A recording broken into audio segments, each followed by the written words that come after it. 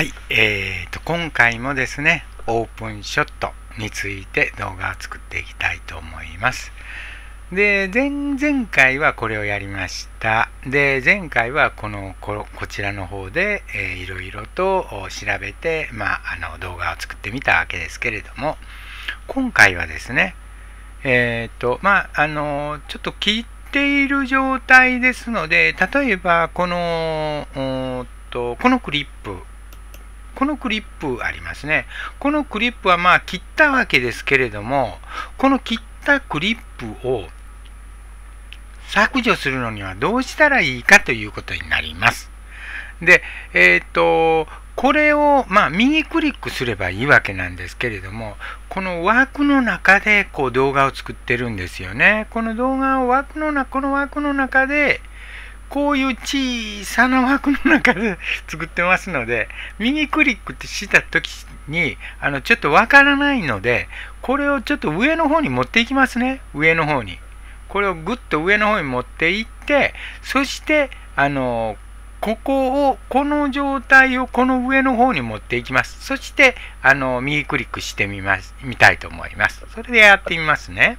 はい、えーと、切り替わりました。そして、えーと、上の方に持ってきて、そして、まあ、この状態を、あの切りたいという場合には、ここであの、うん、削除したいということですよね。削除したいということで、えーと、このこれだけを残すと、これを削除するという時には、ここで右クリックします。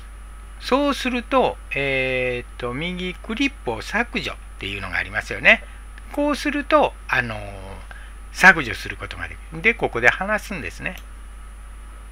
なくなりましたね。じゃあまあ、あのちょっとまたあの切り替えます。ということで、えー、っと、今回はですね、この削除しましたよね。で、えー、削除しましたけれども、また戻したいという時には、ここを、あの元に戻すというようにすれば、元に戻りますから。やってみますね。戻りましたね。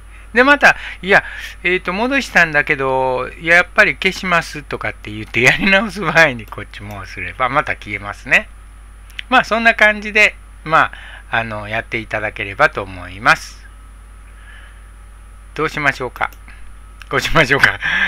うんまあ、そういうことで、まあ、えー、まあ、こんな感じが普通は、まあ、こういう風な形になろうかと思いますね。あるいは、まあ、あの、ったりとかね。まあ、いろいろありますけれども、それで、えー、っと、まあ、できましたと。で、まあ、こう来て、こういうふうに再生されるように編集しましたと。いうことで、えー、っと、その次に、あのー、まあ、それを動画にするっていうことですよね。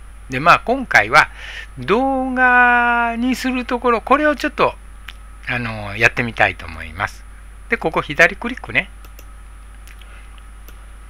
で、左クリックしますと、えー、と、どういうふうになった？規定のプロジェクトってなってますね。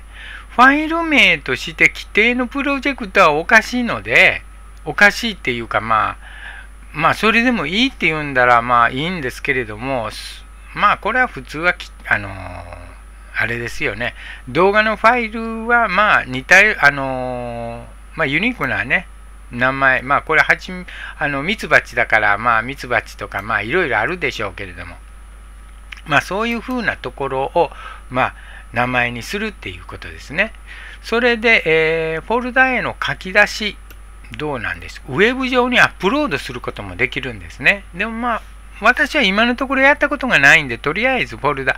でも、ウェブに直接アップロードっていうものもなんか、あの、まあ、下書きと公開しないでやるっていうことになると、まあ、それでもいいのかなと思いますけれども、あの、まあでも自分の場合は、あの、ファイルに落としてっていうか、ファイルに、あの、書き出した後の、で、また確認してっていうふうなことをしていますから、まあこういう形ですね。これでまあクリってなってますけど、これはまあホームフォルダーっていうことになりますね。まデスクトップでもいいんじゃないでしょうかね。他にでもね、いろいろありますけれども。まあ、どこか選んで、えー、するということになりますね。で、ここにあのタブが、タブになっていて、簡易ノンと詳細ノンとありますね。で、えー、っと、まあ私があの、やってみた限りでのお話なんですけれども、プロファイルっていうのがあって、簡易で一応ある程度のことを決めてから、詳細のところで、あの、ちょこちょこっと変、あの、変えてみるっていうのが一番簡単だと思います。私のおすすめとしてはね。で、まあ、プロファイル、どうなってますか ?DVD、ブルーレイのところになってますね。ブルーレイにするのか、DVD にするのか。まあ、これで、あの、あれが違ってくると思うんですよね、フォーマットが。で、まあ、これは、えー、っと、まあ、ウェブにしといた方がいいと思います。まあ、でも DVD にするんだったら DVD でいいんですけれどもね。え一応、あの、目的としては MP4 の、あの、AAC っていうことで、あの、やってみたいと思います。で、その場合に、まあ、あの、ウェブ、私がやってるのですよ。これ間違ってる可能性あるかもわかんないですけど、まあ、あのこれで一応できてますから、まあ、それで、まあ、進めてみたいと思います。で、フリッカーにやってますけど、ここはターゲットは、まあ、YouTube ですからね。YouTube、まあ私の場合 YouTube ですが、YouTube の HD ということで、YouTube で映像のプロファイルってなってて、HD の 720p25 ってなってますけど、25よりも29の方がいいかなと思って、まあこういう風にして。品質中になってますけども、いや、やっぱり中よりも高い方がいいんじゃないかと。という風な感じですね。これで一応ここの簡易的にはできたわけです。で、これでも書き出しできるわけです。ここ書き出しって動画を書き出してありますね。こうクリックすればここのあのバーがブーっとなっていきます。で、ずーっとなっていって、ここに来た時に終わるわけですけれども、これ、この状態でもいいんですけれども、これをもうちょっと詳細を見てみますね。で、えー、っと、詳細を見てみまして、拡張オプション、何でしょうか、映像と音声、まあ、こうそういうことですよね。それで、えー、っと、プロファイルはどうなってますか？まあ、こういう風な形になってますね。まあ、そうです、そうです。こんな感じでやりたいと思います。でまあ、これもこれでいいですよね。連番動画の設定ってなってますね。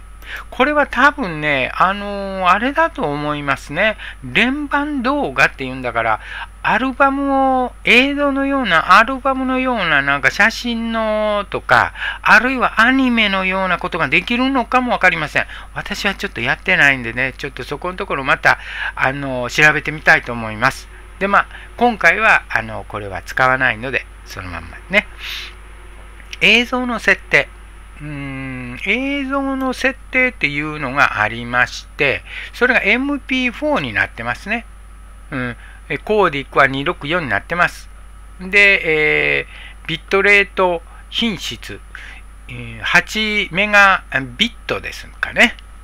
で、まあ、うん、いろいろあると思うんですけれども、あのまあ、8、そのまあ高い状態でね、品質の高品質っていうんですか？そういう状態ですね。それで、えー、次は、あ、これはまあこれで終わりにして、えっ、ー、と、音声の設定。違いますよね。だから AAC の方がいいんじゃないかなと思うんで、AAC で、まあ AAC はどちらかな？あ、これか。AAC をしてね。そしてサンプリングレート48の方がいいんじゃない？これにしちゃって。まあこのまま置いときましょうか。あとは。で、これでできましたと。ね、できました。これでもうできましたよね。できました。そしたら書き出しという形で書き出しをするわけですけれども、書き出しはしないですよ。えこれは書き出しはしませんけれども、まあ、ここすれば、ここでバーっとなって、あの、この栗っていうホームホルダーの一番上にあの保存されるっていうことですね。デスクトップにしたければデスクトップにすればいい。ということです。まあ、とりあえずキャンセルしますけれどもね。とりあえずキャンセルと。しましたけれどもね。で、まあ、そういう形で書き出すということで、まあ、一連の流れ前、前々回はこういうふうなことして、で、まあこれをやりました。で、切ったりなんかして編集しました。で、今回はこのうんと削除することと、この、えー、動画を書き出すっていうことについてちょっとやってみました。以上です。ありがとうございました。